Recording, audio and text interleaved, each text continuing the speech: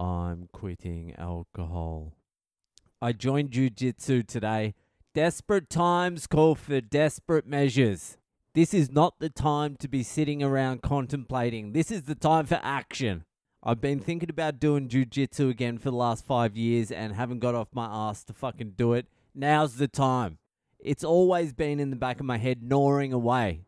You should really start Jiu Jitsu again, you fucking loser. Do you even know how to do an armbar anymore, you loser? I never really knew how to do an armbar, but now I will. Because when the chips are down, you don't stand around, you get out there. You desperately try and make some fucking changes. That's what you do. So I start jujitsu on Thursday, and it's also fucking Muay Thai. There's an hour kickboxing class followed by an hour jujitsu, which is perfect. That I assume is going to help me excrete some of my fucking built up anger. And if not, at the very least, it will give me some confidence going into some road rage fights. I won't even need to go directly for the tire iron. So that's on the cards. Jiu Jitsu Thursday. Tomorrow, I'm going to buy a piano because that's been gnawing away at me as well. Why didn't you continue with the piano? Just spend 20 minutes a day on the fucking piano, you lazy piece of shit. How long do you spend on your phone a day? Be honest. Fucking like three hours doing nothing. Don't use there's not enough time in the day as an excuse when you spend three hours a day fucking scrolling through your phone, ignoring your family. So I've got the jujitsu happening. I've got the piano coming back. I'm fucking reading some Buddhist texts right now, just before I started. Usually I spend like an hour and a half scrolling through my fucking phone before I start this podcast, just trying to avoid starting. But today, fucking, what is it? New me? Instead of scrolling through my phone, I'm reading An Introduction to Buddhism and Tantric Meditation by the Dalai Lama. This is how you fight your way out of a funk. You desperately, you desperately try and cram all the things you've been meaning to do for the past 30 years into one week. And then what eventually happens is you bite off more than you can chew and you stop doing all of them and you end up in exactly the same place you were before. Not doing piano, not doing jujitsu, not writing, not fucking reading about tantra fucking meditation just back on the phone, doom scrolling. Here's the problem with Buddhism for me. Like, there's nothing wrong with like the scripture and the teachings and shit like that, obviously. The problem for me is I know that following the teachings of Buddhism is really the only way to fucking counteract the suffering of the world. There is no possible way you can do it materialistically. It just doesn't work. Any way you play it out. So when you know something like that, it sort of makes striving for any sort of like material gains redundant. Like, why would you be striving directly for that? So, really, to stay motivated about the things you're doing, you have to fucking choose a different reason to do them. Like, instead of I want to be rich and famous, you got to be like, I want to help people. I want to do everything I can to help people. Anyway, that isn't the fucking main problem with Buddhism for me. It's one of the main problems, but it is secondary to the fact that in Buddhism and really in life, you have to be a good person.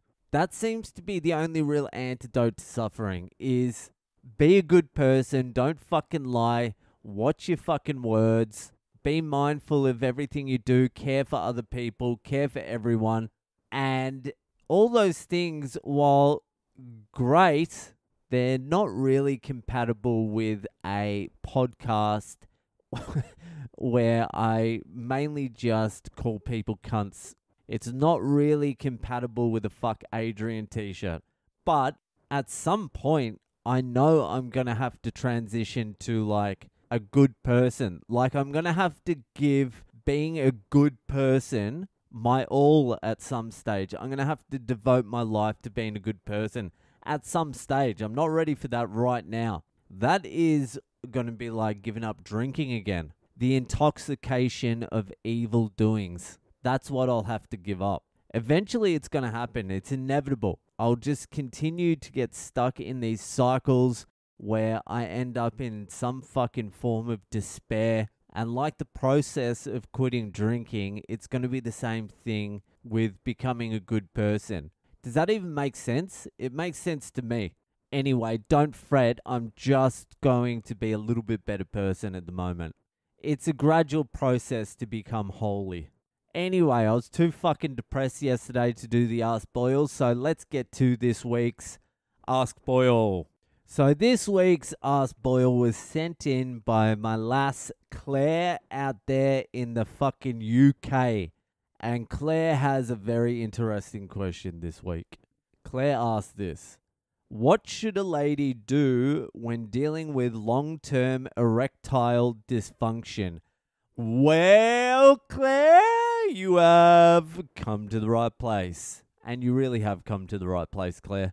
Erectile dysfunction is just another area I am an absolute fucking expert in. You don't do as much drinking as I did over the years and not end up with a fucking floppy a few times against your will. I reckon I bombed at least 20 shags just from fucking being too drunk. At least. And I'd be like, hey, uh, yeah, this, um, never really happened. this doesn't really ever happen. Except for the last 15 times I tried to fuck. Is that even really helpful to a girl? This never happens. Usually I'm raging, but I don't know. There's something about you and this situation that is just really turning me off. So erectile dysfunction. erectile dysfunction.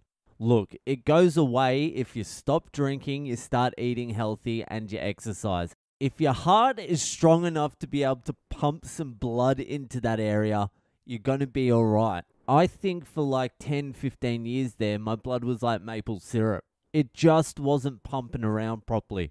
Hold on, she actually says down the bottom, it's premature ejaculation is the issue, not boners. The boners are solid. Well, you could have saved me a little bit of embarrassment there, but I just happen to be an expert on this one too. There's no cure and there's nothing you can do about it. I've tried everything. Everything. No, I actually do know what to do here. Fuck on acid. That's what you do. Get a tab of acid each and then just fucking go to town. It will help rewire his brains. Either acid or mushrooms. Either one. It will rewire his brains and fucking on acid is it's an experience. It's a spiritual experience. He'll be more in the moment. He'll be more involved. Half the problem with fucking jizzing early is it's like getting the yips in golf. It's in your head. And also, sometimes you just can't be bothered. Once you get out of your head, i.e., with a little bit of fucking acid, then it fucking sort of takes care of itself. Just do that. Follow my advice there. Fucking on acid is a spiritual fucking experience. It should be done at least once in a lifetime. And naturally, it will sort you out. Trust me. It will. Anyway, fucking Claire, I hope that helps. Thank me later. That'll do for tonight. If you're enjoying the podcast, share it around, and I'll see you the fuck later.